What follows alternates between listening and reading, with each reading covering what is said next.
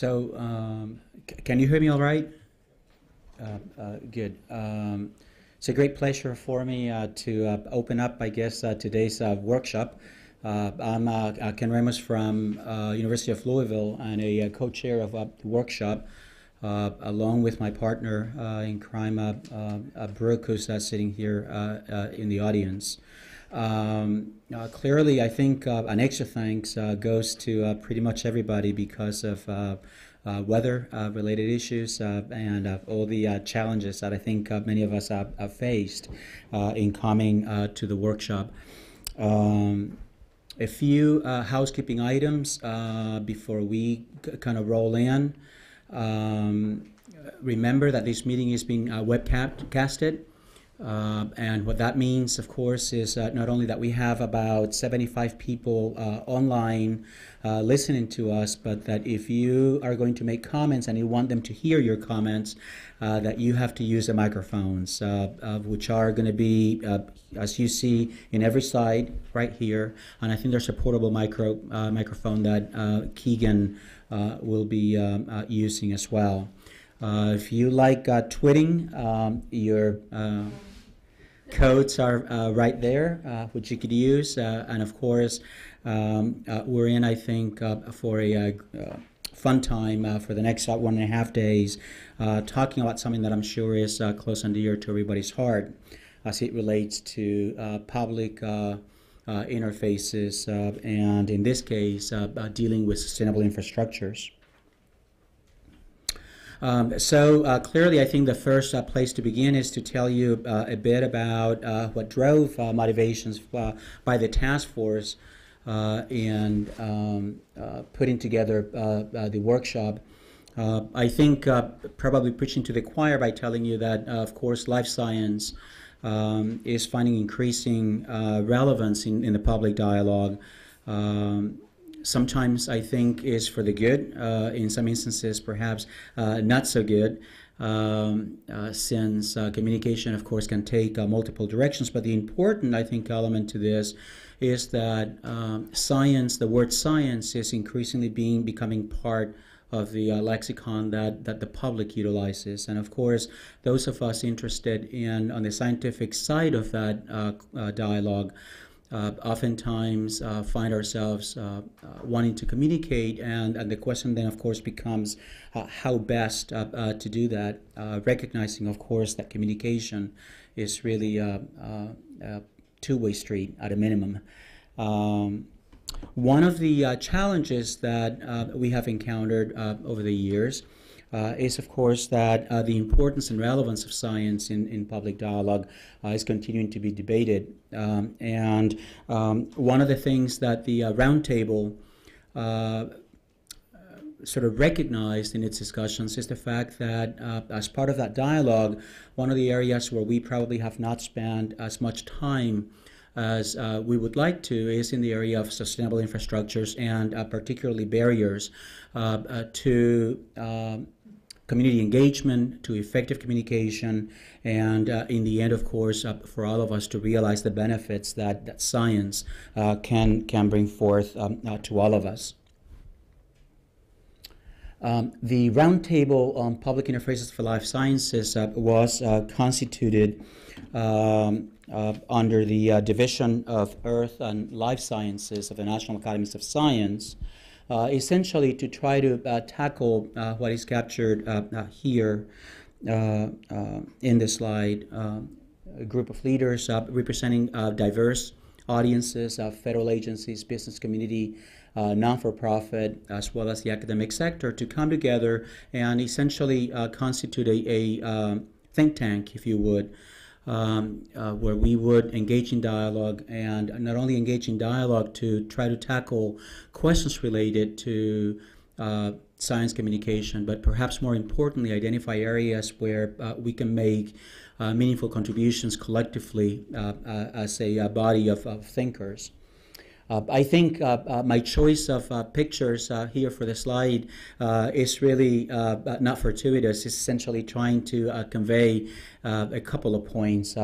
Obviously, we're all uh, coming together uh, on a roundtable uh, to, to try to tackle uh, some of these important issues. But notice that the connectivities are not necessarily the same. that's intended to represent the different sectors which are constituted within the task force and the different perspectives, which of course become critical.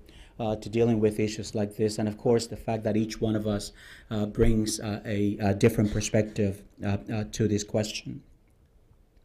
Today, as you know, uh, the intent is for us to uh, uh, talk and focus on the issue of uh, sustainable infrastructures. Before we do that, I'd like to uh, uh, recognize members of the task force, many of which are here, many of which are not here.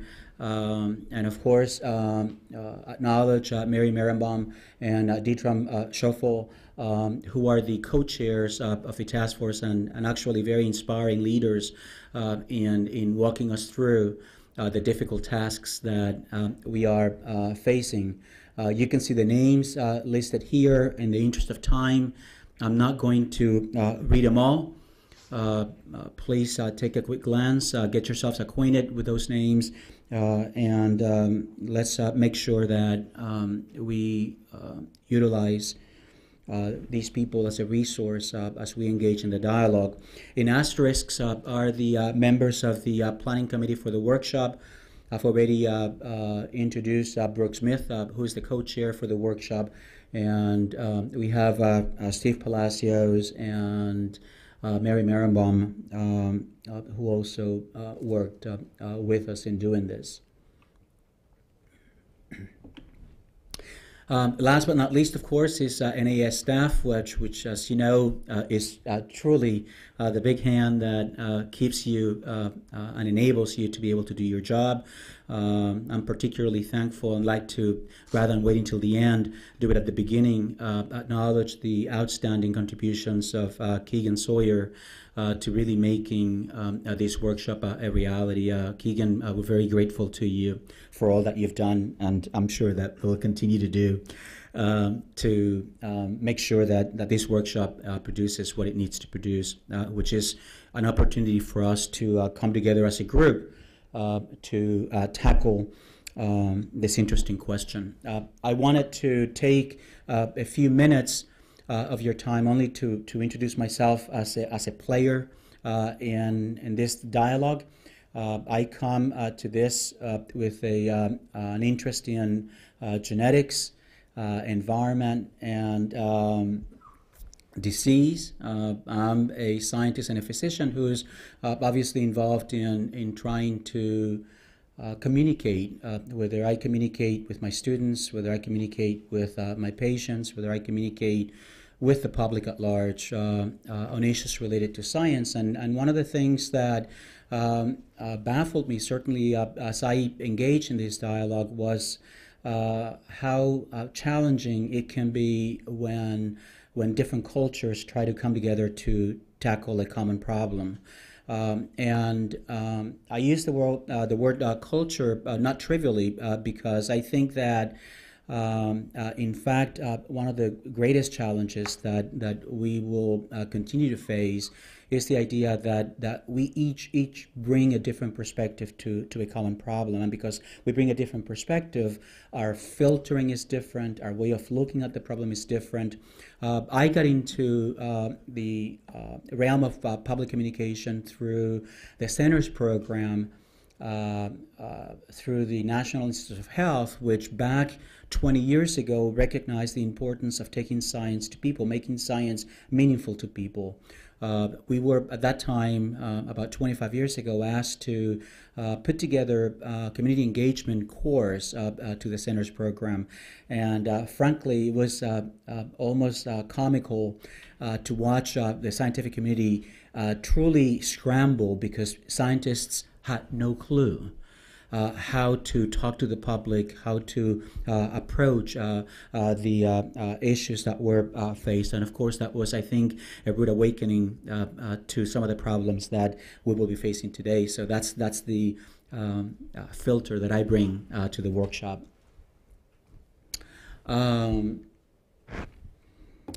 quickly, uh, workshop uh, at a glance. Uh, uh, you've, I'm sure, taken a, a good look at the uh, the agenda uh, for the day.